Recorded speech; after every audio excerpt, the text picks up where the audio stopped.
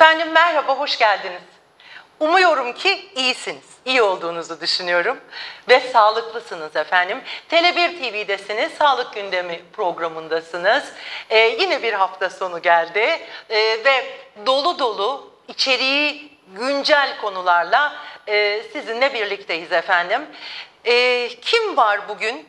Enteresan konular işleyeceğiz ilginç konular ve önemli bir konuğum var. Ankara'dan geldi. Hakan Türkoğlu bizimle birlikte efendim. Doktor takvimi ülke CEO'su. Hoş geldiniz.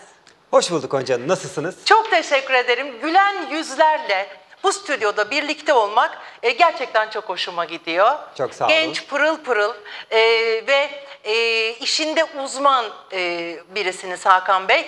Dersime çalışıyorum ben. Çok sağ olun, çok Yayına teşekkürler. gelmeden. Konuşulmayan ilginç konuları konuşacağız bugün sizinle. Ankara'dan geldiniz. Ankara'nın havasını soracağım hemen. Tabii ki Ankara e, tabii ki İstanbul'a göre biraz daha akşamları serin. Ama e, ben doğma büyüme Ankaralı olarak e, Ankara'yı sevenlerdenim. Ama İstanbul'da da hem işim burada, çık, e, uzunca yıllar burada da yaşadım. O yüzden İstanbul'un da güzelliği apayrı o tartışılmaz. Politik gündemin Ankara'nın farklı bir e, hakikaten havası var. Yani e, politik gündemin ağırlıklı yaşandığı, oradaki yaşanan her şey buralara e, yansıyor efendim.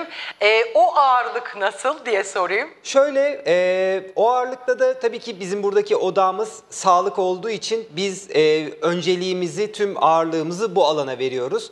Elbette ki sağlıkla sağlık politikaları çok çok iç içe giden konular önemli. Biz de burada bir teknolojik destek vererek oralara yardımcı olmaya gayret ediyoruz. Hemen girelim o zaman Tabii. konuya. Şimdi e, sevgili seyirciler bu arada sosyal medya hesaplarımıza sorularınızı yöneltebilirsiniz. Sormak istediğiniz Hakan Bey'e de bana da. E, çünkü sizleri de ilgilendiren bir takım araştırmalardan, e, konulardan bahsedeceğim. Doktor takvimi aslında pek çoğumuzun bildiği bir online sistem doğru mu? Doğru.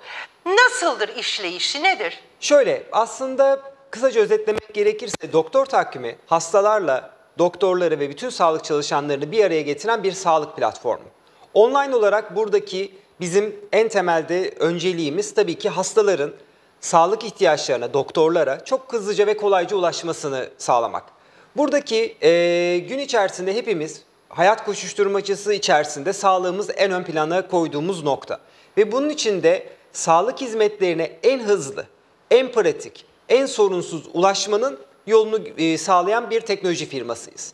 Bununla beraber sadece hastalara ücretsiz buradaki verdiğimiz hizmetin dışında doktorlarımıza ve değerli uzmanlarımıza da kendi randevu süreçlerinin oluşturulması, hasta takiplerini yapabilmesi gibi birçok alanda onların hayatlarını kolaylaştırıp işlerindeki diğer bu alanlara vakit ayırmalarını engelleyip o yükü onların üstünden alıp sadece hastalıklar hastalarının e, sorunlarına odaklanmasını istiyoruz, bekliyoruz. Bunu amaçlayan bir sağlık platformuyuz. Ve aylık 7 milyon ziyaretçi trafiğiyle Çok yüksek bir ve rakam. 10 binin üzerindeki e, uzmanlığıyla beraber tüm Türkiye'ye hizmet verme gayreti içerisindeyiz. Çok yüksek bir rakam ve e, uzun yıllardır da e, bu hizmeti veriyorsunuz. Kaç ülkede varsınız? Şöyle onun üzerindeki aşkın firma e, şey ülkeye hizmet veren bir firmayız. Global olarak Doc Planner grubu bünyesinde yer alıyoruz. Türkiye'deki adımız Doktor Takvimi ama bununla beraber Almanya, İspanya, İtalya, Polonya gibi Avrupa büyük Avrupa ülkelerinde hizmet veriyoruz. Bunun yanı sıra Güney Amerika'da yine Brezilya, Şili, Meksika ve Kolombiya gibi sayabileceğim en başta gelen ülkeler var. Ee, tüm buralarda benzer faaliyetleri yerine getiriyoruz ki buradaki temel amacımız tüm dünyada sağlık deneyimi daha insan odaklı bir hale getirmek. Bu vizyonla, bu misyonla hareket eden bir e, grubun parçası olarak da Türkiye'de hizmet vermekten gurur duyuyoruz açıkçası. E, bir taraftan e, hastalar var, diğer taraftan doktorlar var ve hastanelere de bir takım hizmetler veriyorsunuz. Onu da, onu da bir paylaşır mısınız? Tabii ki burada sonuçta aslında bizim yaptığımız işi şöyle özetlemek de mümkün olabilir. Biliyorsunuz ülkemizde devletten randevu almak istediğimizde devlet hekimlerinden MHRS sistemini kullanıyoruz Evet. ve bu oldukça yaygın. Ee, biz bunun özel sektördeki aslında bir nevi muadili gibiyiz.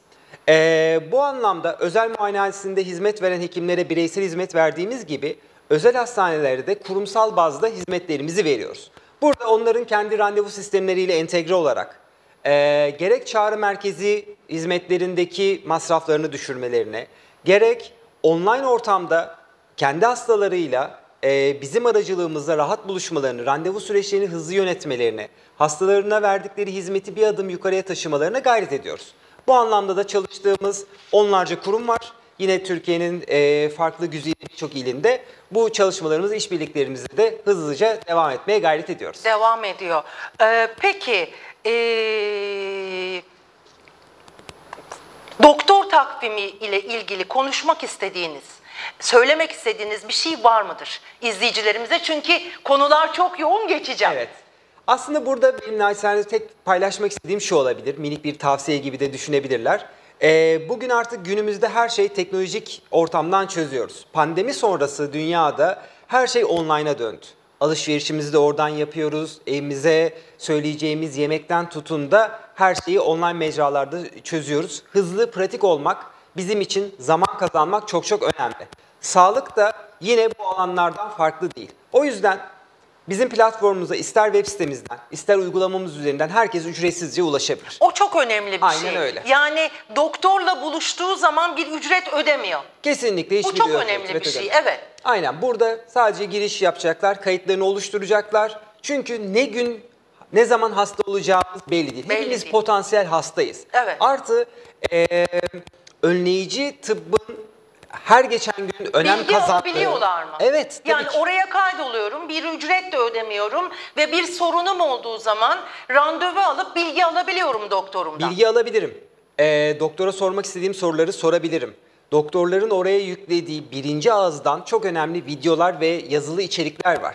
Doğru bilgiye ulaşmak çok çok önemli bugün sağlıkta.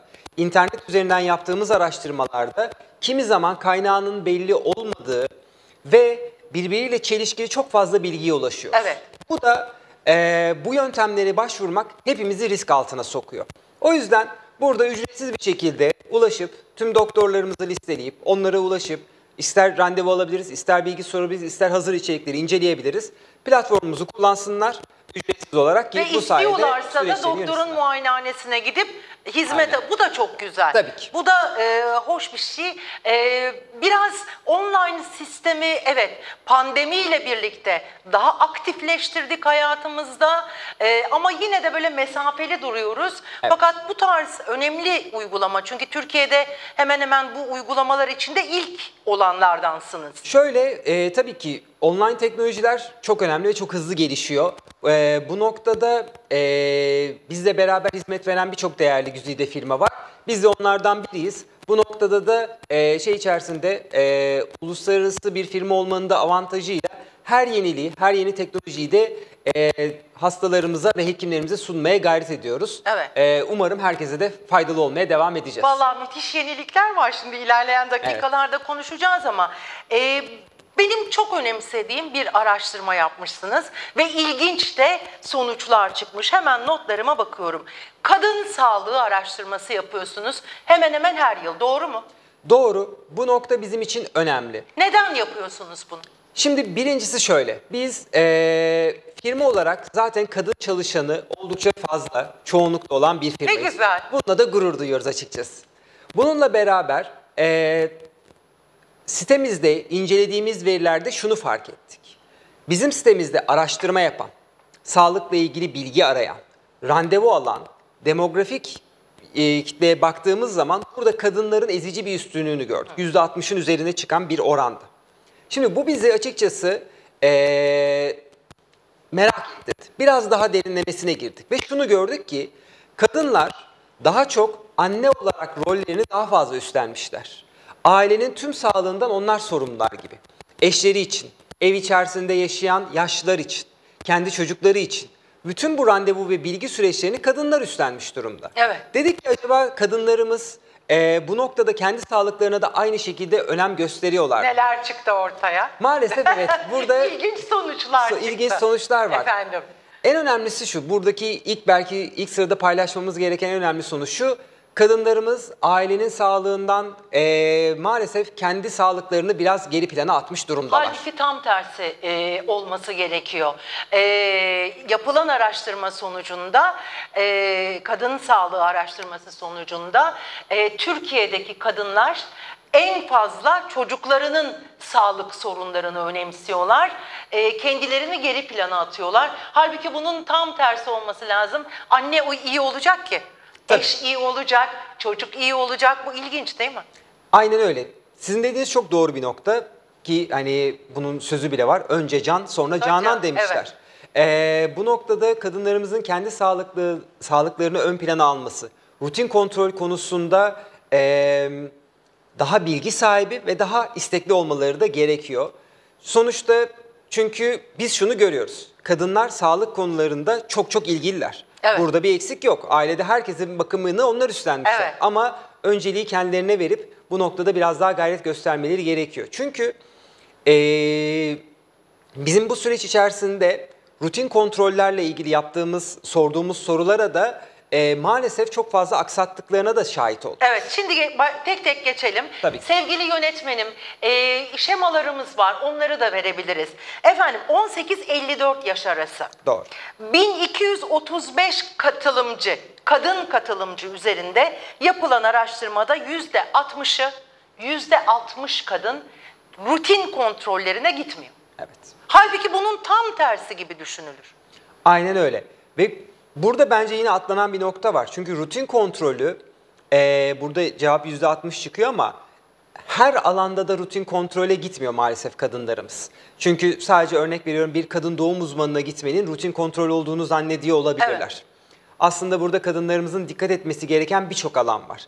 Düzenli sağlık eee, kontrolünü ülkece hepimizin yaptırması lazım. O ayrı bir şey ama dediğim gibi kadın eee, aile içerisinde çok önemli bir rol üstleniyor. O yüzden en, en ilk başta da kendine daha fazla önem göstermesi gerekiyor. Burada Evet, şöyle verileri aynen. e, geçiyoruz. İzleyicilerimiz de e, görsün istiyorum. Katılımcı profilleri var. Çok güzel bir araştırma bu. Bölgelere de göre de yapmışsınız. Hakikaten e, tebrik ediyorum sizi. Peki, ilginç. E, psikolojik sağlık, e, cinsel yolla bulaşan hastalıklar ve menopoz konusu yapılan araştırmaya göre kadınların en az konuştuğu ve konuşmayı tercih ettiği konu. Bu da aslında sizin dediğiniz gibi, bahsettiğiniz gibi çok ilginç, kayda değer bir nokta. Şimdi bu konular eee, biz şimdi Türkiye'de biraz önce de bahsettim 7 milyon trafiği olan bir platformuz. Gerçekte insanlar ne araştırıyor ve bu araştırmada sorduğumuz sorulara verilen cevaplarla karşılaştırdığımızda karşımıza şöyle bir resim çıkıyor.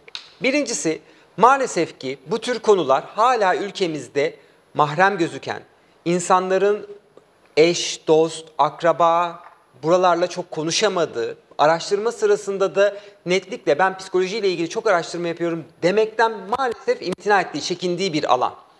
Çünkü biz arka planda görüyoruz ki bu alanlarla da ilgili aratılan anahtar kelimeler oldukça fazla. Ee, bizim bu konuları biraz daha tabu halinden çıkarıp bu tür platformlarda sizin de önce olduğunuz gibi konuşmamız çok çok kıymetli. Çok önemli. Sağlıkta her alan fiziki sağlığımızda, cinsel sağlığımızda, psikolojik sağlığımızda çok çok önemli. Çok önemli. Bu konuların üzerinde hekimlerimiz sağ olsunlar, uzmanlarımız sağ olsunlar çıktıkları, buldukları her mecrada bunların öneminin altını çiziyorlar. Evet. Ve bu konuda bir paydaşlık gerekiyor. Gerek medya, gerek bu işin teknoloji tarafında yer alanlar biz bunları ne kadar dillendirirsek bu konulardaki o görünmez tavanları, görün- görünmez duvarları kırıp bunları daha rahat konuşabildiğimiz, Evet. kadınlarımızın bu alanlarda e, kendi ihtiyaçlarına yönelik daha fazla hizmete ulaşabileceği e, ortamı oluşturabileceğimizi düşünüyorum. O yüzden de bu araştırmanın buraya da minik bir katkısı varsa bizim için çok çok gurur verici. e, aslında eğit yani bir takım tabulu, iş- tabularımız var bizim. Yıkamıyoruz ya da ne derler konusu var. Mesela bu şöyle bir sonuç hemen e, kendi hayatımdan örnek vereyim. Çok sevdiğim e, bir arkadaşım ve annesiyle e, buluştum çok yakın bir zamanda. Anne de kız da üniversitede öğretim görevlisi. E, ve kızın ciddi bir psikolojik sorunu var, bir travması var. E, ve anne e, kızın e, psikoloğa gitmesini istemiyor ve deli misin Evet. sen dedi. Evet. Dedim ki yani olur mu? Ben de gidiyorum yıllardır. Yani gidiyorum panik atağım var. Panik atak tedavisi oldum. İyi ki doktorlarımız var. Çok önemli. Evet. Hekimlerimiz var bizim. Bu ayıp değil ki. Psikoloğa gitmek deli misin sen dedi. Ve üniversitede bir öğretim görevlisi. Ee, işte bu çıkan sonuçla örtüşüyor. Maalesef öyle örtüşüyor. O yüzden eee, yine altını çizeceğim nokta eee, bilimsel verilerin bize gösterdiği bu gizli kalmış alanları keşfediyoruz. Evet. Bunları konuşarak, tartışarak, eee, hekimlerimizden, uzmanlarımızdan destek alarak umarım daha fazla kadının kendiyle ilgili her konuda Evet. daha fazla sağlık hizmetine ulaşmasını sağlamamız Sağlıkta çok önemli utanma olacak. diye bir şey ol- kabul etmiyorum. Hele hele e, ruh ve beden bir bütün. E, Aynen. psikoloğa gitmek, psikiyatriste gitmek e, kötü bir şey değil. Tükaka bir şey değil. Gidelim ki beden ve ruh olarak sağlıklı olalım. İlginç bir e, şey gözüme takıldı araştırmada. E, kadınların yüzde 44'ü efendim HPV aşısının ne olduğunu bilmiyor. O kadar çok konuşu, Evet. yazılı basında konuşuluyor. Görsel basında hocalarımız bilgilendirme yapıyor, bakanlık bilgilendirme yapıyor. Ee, HPV aşısını meme kanseriyle ilgili bir aşı olduğu düşünülmüş yapılan araştırmada. Bu konuda ne düşünürsünüz? Şöyle e, yine konu aslında dönüp dolaşıp şeye geliyor. Bizim e, buradaki üstleneceğimiz rol. Sizin altınızı çizdiğiniz noktalar çok çok önemli. Başta devlet, hekimler, e, medya bu konuda ne kadar paylaşım yaparsa demek ki az kalıyor. Bunun olabildiğince biz Evet. hiç sıkılmadan her daim bu konuları, sağlıkla ilgili konuları konuşmamız çok çok önemli. Çünkü büyük bir sorun.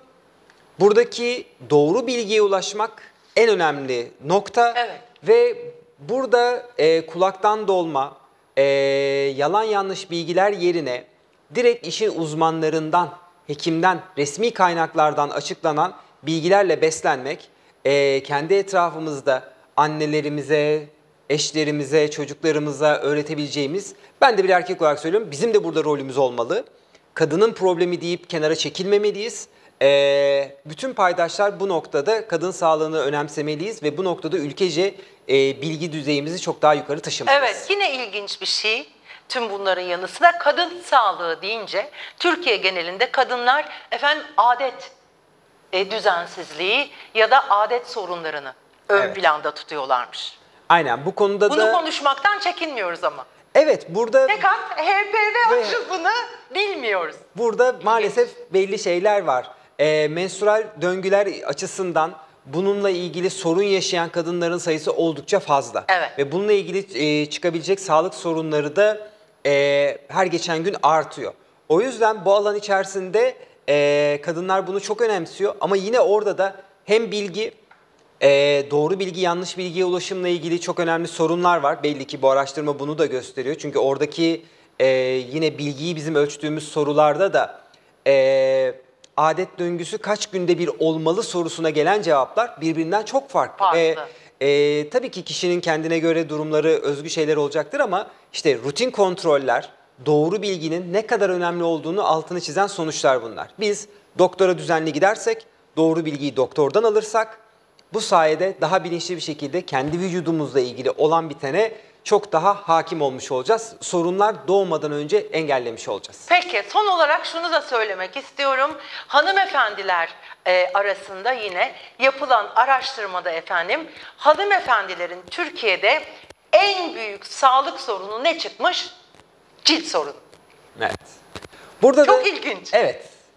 Bir yandan şöyle bir durum Yani var. cilt sorunu derken dermatolojik sorunlar, işte sivilce, akne sorunları Tabii aklıma geliyor. Daha sonra nörolojik sorunlar çıkmış.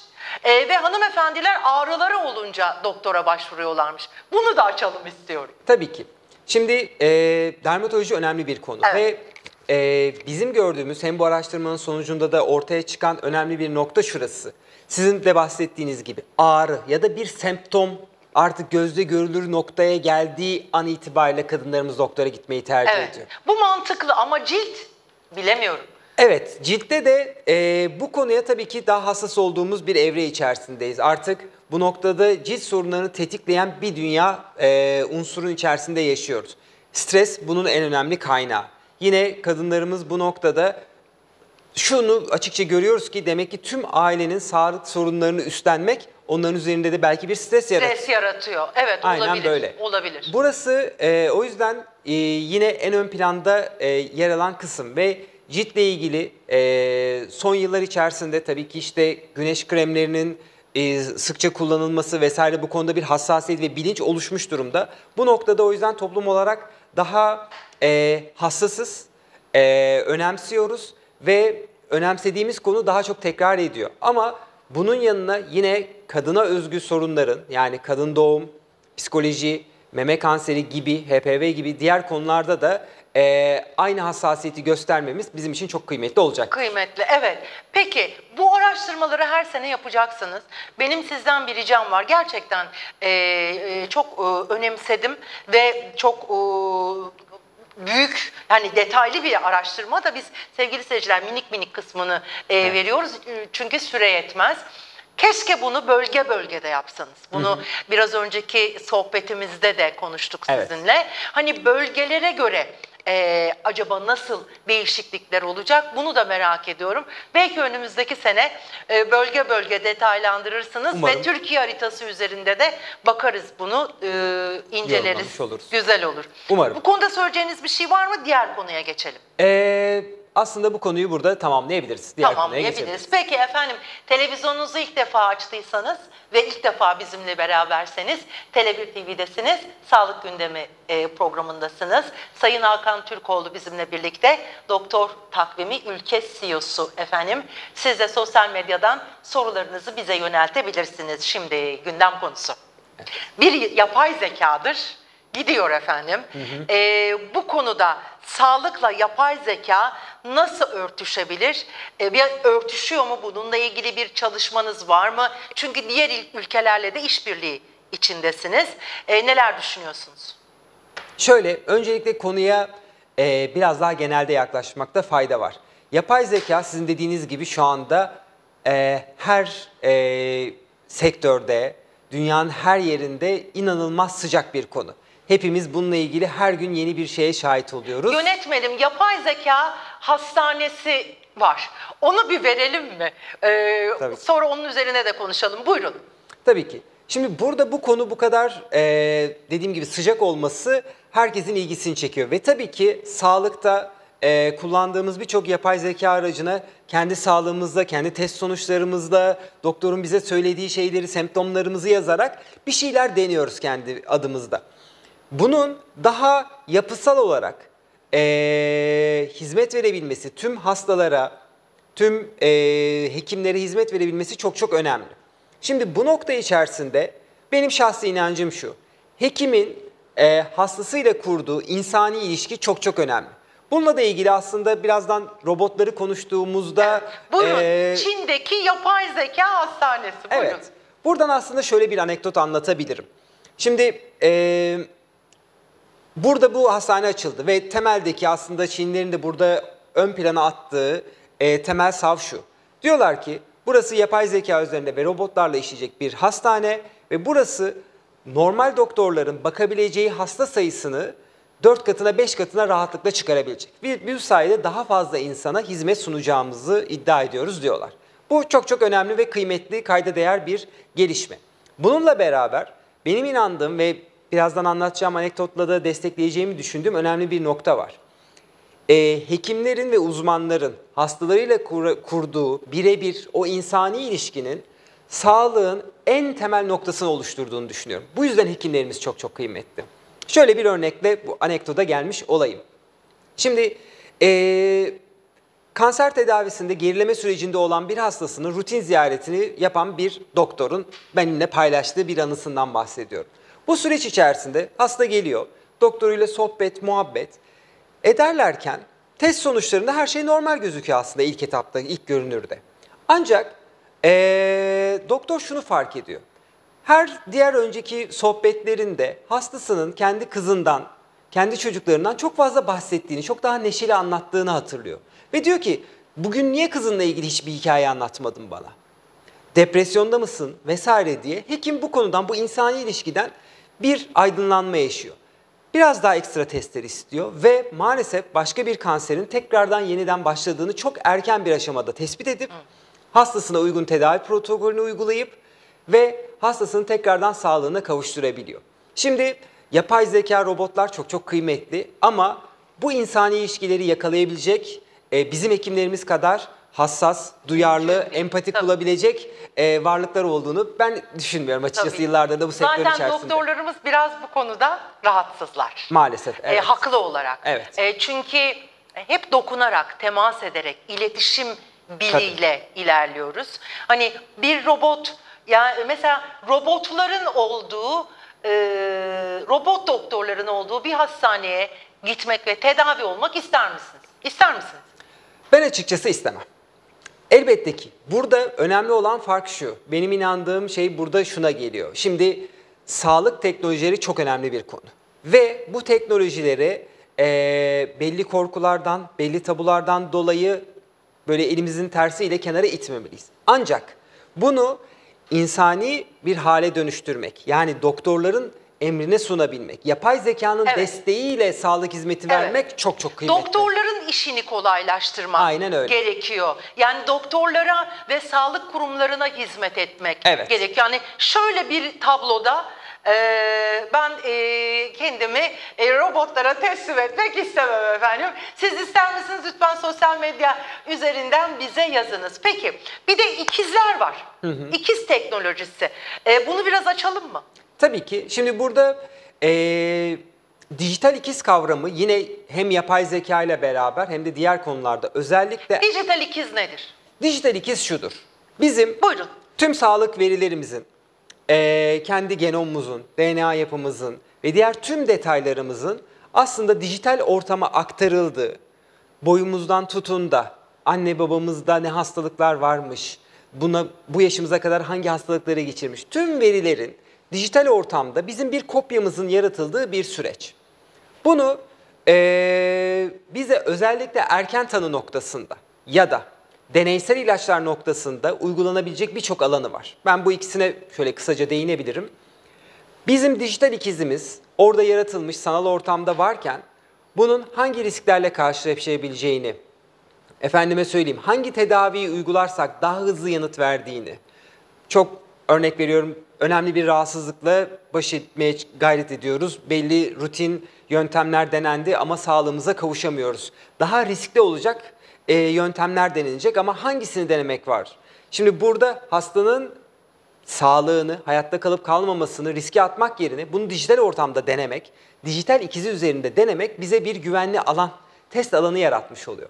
Bu sayede doktorlar, uzmanlar doğru tedavi yanı e, tanı ve e, tedavi yöntemlerini de uygulamış oluyorlar. Bu da e, şimdi her ne kadar şu anda günümüz dünyasında ütopik gözükse de e, yakın gelecekte hepimizin e, aslında nasıl ki e, birçok cihazı bundan 10 yıl 20 yıl önce bizim için uzak hayali şeylerdi. Bugün hepimizin Bu hayatına moda girdi. haline geldi. Yurt dışında uygulanmaya başlandı galiba bu dijital ikiz olayı. Tabii bununla ilgili çok çok gelişmeler var. Biz de tabii uluslararası bir firma olarak özellikle bir önceki konudan da buraya da değinerek bahsedebilirim. Yapay zekanın doktorlara vereceği destek çok çok önemli. Evet. Bununla ilgili var mı bir projeniz? Var. Hayata geçireceğiniz. Sır gibi saklarsınız ama hani ucundan bir şeyler Şöyle söyleyin. diğer ülkelerde ufak ufak denemelerini yapmaya başladık. Ee, buradaki hizmetlerimizi yakın zamanda da Türkiye'de de e, tüm herkese sunmayı planlıyoruz. Burada e, yapay zekanın biraz önce de altını çizdiğim gibi doktorlara vereceği destek çok çok önemli. Doktorun zamanını, tasarrufunu sağlamak bizim en büyük misyonumuz. Evet. Çünkü doktor hastasına ve hastasının sağlığına odaklansın istiyoruz. Bu noktada eee, onlara sunacağımız güzel bir yapay zeka çözümüyle beraber özellikle tanı koyma aşamasında doktorların işini kolaylaştıracak bir yapay zeka ürünümüz yakında geliyor. Evet ama ç- şahane. Peki yakında iki- bir sene sonra mı? Yeni sene sezonda mı? Ne zaman?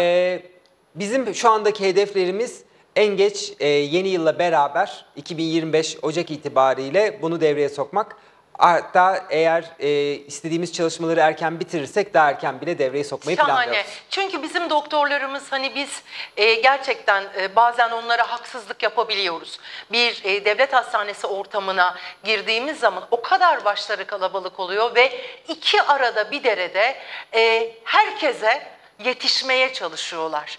E, ellerinden geldiğince zaman zaman tabii ki sinirli oluyorlar, asabi oluyorlar ama robotların onlara e, hizmet sunması onların işlerini çok kolaylaştıracaktır. Aynen Hakikaten kıymetli doktorlarımız var. Bu işte e, doktorların yerini alacak mı sorusundan çok rahatsızlar. E, zaten e, bir sürü e, kaçırıyoruz onları yurt dışına. E, bir de bunlarla baskı altına e, almayalım kırılıyorlar çünkü biliyorum yaptığımız sohbetlerde. Peki e, siz bir dijital ikiziniz olsun ister misiniz? Şöyle ben isterdim açıkçası. İster miydiniz? Evet. Çünkü e, ben bir de yapı olarak biraz vesveseli biriyimdir. Hı. E, Sağlığımla ilgili de pimpirikliyimdir. E, bu noktada benim hangi risklerle karşılaşabileceğim ya da yarın öbür gün bir tedavi protokolü uygulandığında Allah korusun hepimiz için e, bunu önce çok daha güvenli bir alanda benim tüm sağlık verilmeye sahip bir ikiz üzerinde denenmesi e, benim de içimi daha rahat ettirecektir. Çünkü sağlık teknolojileri yine altını çizmek istiyorum. Önemli, kıymetli şeyler ve ben biraz şuna benzetiyorum. Şimdi konuştuğumuz konular belki seyircimizin bir kısmına ya bunlar filmlerde var. Ee, bizim hayatımıza girmesi kaç yıllar alır belki diyebilirler. Ama teknoloji çok hızlı gelişiyor ve daha önemlisi şöyle bir şey var. Nasıl ki bir çocuk ilk gün koşmaya başlamıyorsa önce emeklememiz lazım. Sonra yürümemiz lazım. Koşmaya bu aşamada ge- geçiyoruz. O yüzden sağlık teknolojilerinde de bizim hastalar olarak, doktorlar olarak, hastaneler olarak, devlet olarak hepimizin şu andaki teknolojik ürünleri sahiplenmemiz, kullanmamız çok çok kıymetli. Evet. Bu ne ya deyip kenara atmamalıyız ki yarın öbür gün o iş büyüdüğünde Evet. koşabilmek için emeklemeliyiz. Evet. Şu anda emekleyen ürünlere burun kıvırmanın ben çok doğru bir tavır olduğunu düşünmüyorum. O yüzden sahiplenmek, kullanmak çok çok önemli. Ben şahsi olarak şunu inanıyorum.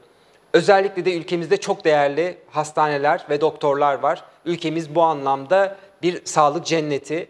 Ee, dünyanın belki başka yerlerinde işte Çin'de olduğu gibi robotlar doktorların yerini alabilir. Ama bizim ülkemizde Türkiye'de ben hiçbir zaman yapay zekanın ve robotların bizim doktorlarımızın, Mümkün uzmanlarının yerini alacağını olmasın, düşünmüyorum. almasın. Olmasın da. Hayır, Aynen öyle. doktorlarımıza hizmet etsin. Aynen Ee, öyle. Onlara hizmet etsin, onların önünü açsın. Ee, biz yine iletişim diliyle e, Evet. dokunarak, fikir alışverişinde bulunarak çünkü onlar Devam gerçekten çok kıymetli. Çünkü burada en önemli şey şu. Belki altını çizmemiz gereken bir faktör şu olabilir. Yapay zekayı ve sağlık teknolojilerini sahiplenen doktorlar diğer meslektaşlarının önüne geçebilirler. Çünkü biz de hastalar olarak her şeyi teknolojiyi sahiplenen çok yeni bir jenerasyon geliyor. Onlar sağlığıyla ilgili eee, nasıl derler daha ilgililer, meraklılar, teknolojiyle beraber bunu kullanmak istiyorlar vesaire.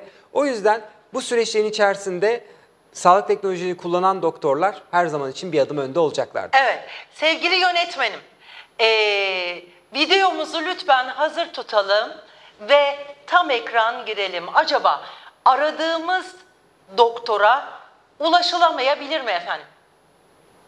Ulaşılamayabilir. Neden? Maalesef ki sağlıkta şiddet ülkemizdeki önemli sorunlardan biri. Doktorlarımız bu konuda eee, oldukça fazla mağduriyet yaşıyorlar. Her gün eee, medyada bunun birçok örneğini görebiliyoruz. Eee, bu noktada tüm paydaşlar olarak devlet elinden geleni yasalarla yapmaya çalışıyor. Basın bu konu üstünde hassasiyetini gösteriyor. Ee, ama hastalar olarak da bizler de bu konuyu sahiplenip doktorlarımıza sahip çıkmamız gerektiğine dair bir inancım var. Bu noktada ülkece hep beraber şiddetin her türlüsü ne hayır diyerek bu noktada tavrımızı ciddi anlamda ortaya koyarak eee, ses çıkarmamız gerekiyor. Biz de naçizane bu videomuzu yayınladık. Eee, bu noktada da hem sağlık çalışanlarının hem de diğer paydaşların bu işi sahiplenip her mecrada muhakkak dillendirerek bu noktadaki bilinci daha yukarıya taşımak bizim de gayretimiz. Çünkü biraz önce de konuştuk. Doktorlarımızın robotlar onların yerine geçsin istemiyoruz. Ama bu ülkede kalıp bizlere hizmet vermeleri, hayatta kalabilmeleri çok çok önemli. Evet. O yüzden de e, sağlıkta şiddete dur demek hepimizin boynunun borcu. Evet. Yani bizler, sizler, e, sosyal medyada yine pek çok kurumlar e, bu farkındalık söylemlerini, par- ne güzel bir tanıtım filmi yapmışsınız. Farkındalık e, postları, tanıtım filmleri yapıyoruz ama e, neden e, görüyoruz ama görmemezlikten geliyoruz ve neden durduramıyoruz? Çünkü çok enteresan bir şey. E, ne kadar kadına şiddet diyorsak artarak Devam ediyor. ne kadar doktora yani e, geçen hafta ya da ondan önceki hafta acil tarandı Bakırköy'de. Yani hani jandarmamız, polisimiz, hasta yakınlarımız yaralandı. E, ülke olarak psikolojimizin iyi olmadığını düşünüyorum ve temeline sanırım eğitim koymuyoruz. Evet. Bu noktada e, bütün konular aslında biraz birbiriyle bağlantılı Evet. olmuş oldu bugün. En başta konuştuğumuz hikayede döndüğümüzde biz her konuda daha fazla doğru bilgiye ulaşmak, her konuda birbirimizi bu anlamda bilinçlendirmek e, gayretinde olmalıyız. Çünkü dediğiniz çok çok doğru. Bu şiddet sadece doktora yönelik değil. Evet. Her alanda görüyoruz bunu ve ülkecek birbirimize saygımızı, sevgimizi tekrardan yeniden canlandırmamız gerekir. Ee, buna da sağlık gibi bir önemli bir alanda başlamak bence çok çok kıymetli ve temelinde de sizin dediğiniz gibi eğitim çok önemli, Önemli. bir paya sahip. Önemli. Efendim bir dakikanız var. Ee, şu kamera sizin kameranız. İzleyicilerimize, sizi izleyenlere ne söylemek istersiniz? Şöyle, e, sağlık hepimiz için çok çok kıymetli. Biz de sağlık sistemini daha insan odaklı hale getirmek için gayret veren bir firmayız. Bu noktada e, uygulamamız ve web sitemiz sizlere ücretsiz olarak hizmet veriyor. Umarım hepimiz sağlıklı oluruz. Ama bir gün sağlığımızın kötüye gitmesini engellemek için de önleyici tıp bizim için büyük bir avantaj. Bu noktada herkese sağlıklı günler diliyorum. E, kendimize dikkat edelim. Ülkemize ve doktorlarımıza sahip çıkalım. Evet, çok teşekkür ederim. Ayağınıza sağlık. Çok kıymetli bilgiler verdiniz. Çok güzel işler yapıyorsunuz. Çok teşekkür ederim. Doktor takviminin bütün güzel ekibine. Efendim, üyesi kaç milyon üyeniz var? Şu anda 11 bin ücret üyemiz var ama içerideki olan profil sayısı e, 100 binleri aşmış durumda. Ee, 100 binin üstünde üyesine, doktoruna, sağlıkçısına. Ee, çok teşekkür ediyorum ee, efendim. Ee, keyifle ağırladım sizi. Ee, sizden istediğim bir şey oldu yayın öncesinde. Evet, benim de sözüm olsun. Lütfen doktor takviminin değerli hocalarından biriyle sizi alayım. O izleyicilerimize soru cevap yapsın. Biz de yine sistem üzerinde konuşalım istiyorum. Buradan duyurulur efendim. Tabii ki. Çok teşekkür ediyorum. Ben çok teşekkür Ayağınıza, ediyorum. yüreğinize sağlık efendim. Sağ olun, iyi günler. Ee, efendim bugünlük bizden e, bu kadardı. E, Doktor Takvim Ülke CEO'su Sayın Hakan Türkoğlu bizimleydi. Yarın çok önemli bir konu konuşacağız. İmplant yine yarın da Ankara'dan gelecek olan iki değerli konuğum var. Profesör Doktor Sedat Çetiner bizimle birlikte olacak. Ankara Gazi Üniversitesi Ağız Çene Sağlığı e, uzmanı ve e, Medex Sağlık Araştırmaları CEO'su Mehmet Yıldız bizimle birlikte olacak. Dolu dolu bir program olacak. Yarın saat 14'te görüşmek üzere efendim. Sağlıkla kalın, Tele kalın.